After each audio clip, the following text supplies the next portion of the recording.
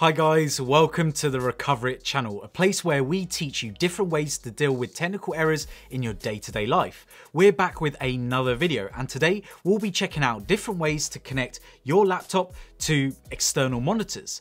In the past, many people have started using their laptops to embrace the work from home culture. However, due to the smaller screens of laptops, it's often challenging to achieve the same productivity as using a large monitor.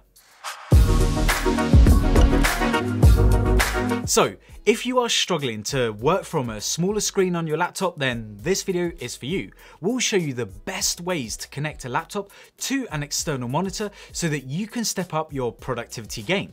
But before anything else, make sure to press that subscribe button below and that notification bell so you don't miss out on any future videos.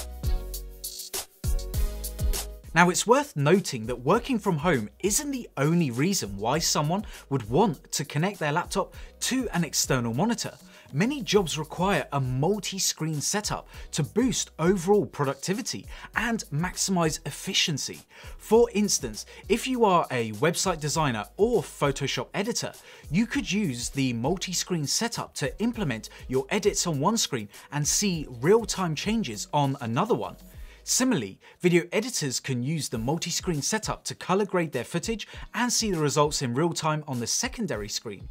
Now let's see the benefits of doing so. The major benefits of why you would want to hook up your monitor to a laptop include that you can use two monitors to run multiple applications at the same time and make use of multitasking more efficiently.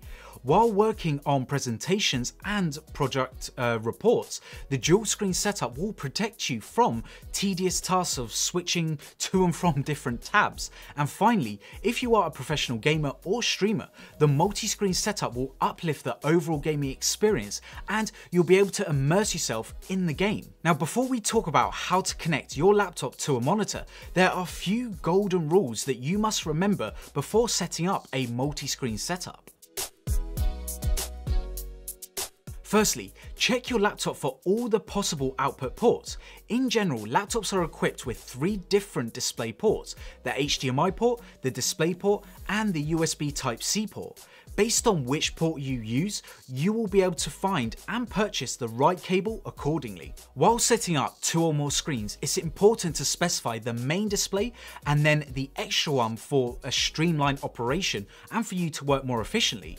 You can achieve this goal by simply going into your display settings of your computer and then setting up the main display. So now we've covered the ports, now let's look at different ways to use an external monitor with your laptop. The easiest way to connect up an external monitor to your laptop is to use an HDMI cable.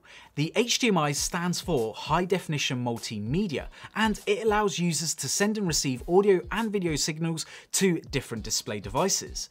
The majority of laptops will come with a dedicated HDMI port, so if your laptop does have that port, all you need to do is just buy an HDMI cable and use it to connect up your laptop to an external monitor. Make sure that you are using the correct version of HDMI when connecting your laptop to your monitor and ensure that the monitor is set to the HDMI mode. Now, it may be possible that your external monitor or laptop doesn't have an HDMI port, but it might have a display port. In this situation, instead of using an HDMI cable, all you have to do is get yourself a DisplayPort cable to get the job done. Your laptop should connect to your external monitor automatically, but again, make sure that your monitor is set to DisplayPort mode and you have inserted the cable into the right port the same way you would have done for HDMI. Some modern day laptops and monitors though also come with a dedicated USB-C port. If your hardware configuration supports USB-C connectivity, you won't have to use an HDMI or DisplayPort cable. With a USB-C port on your laptop, you need to make sure that it supports DisplayPort over USB-C. You may need to contact the manufacturer of your laptop to check if the USB-C port is capable of this. If it does, then you can simply buy a Type-C to Type-C cable to transmit the audio video signals between your laptop to your display. When buying a USB-C cable, make sure to avoid USB 2.0 Type-C cables.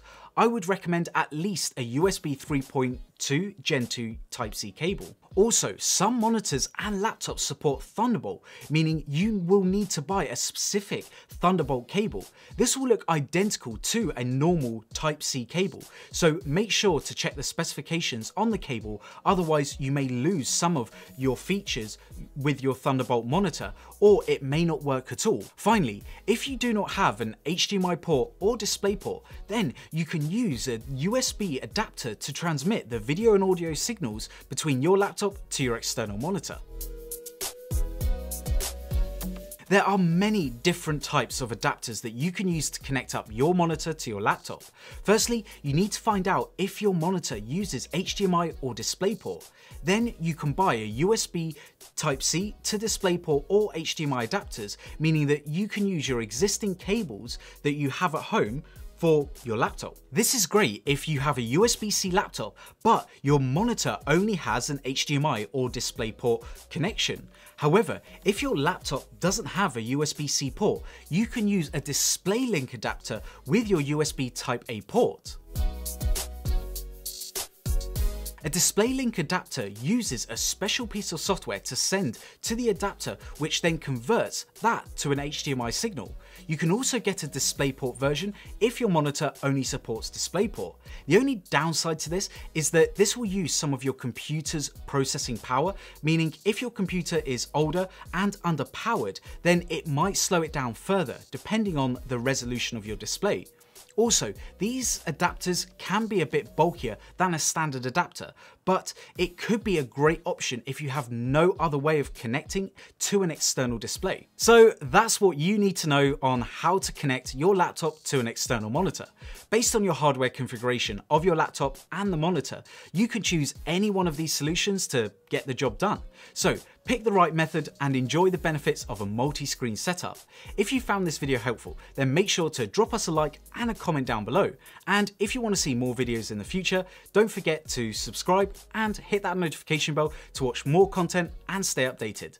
Thanks for watching. Bye.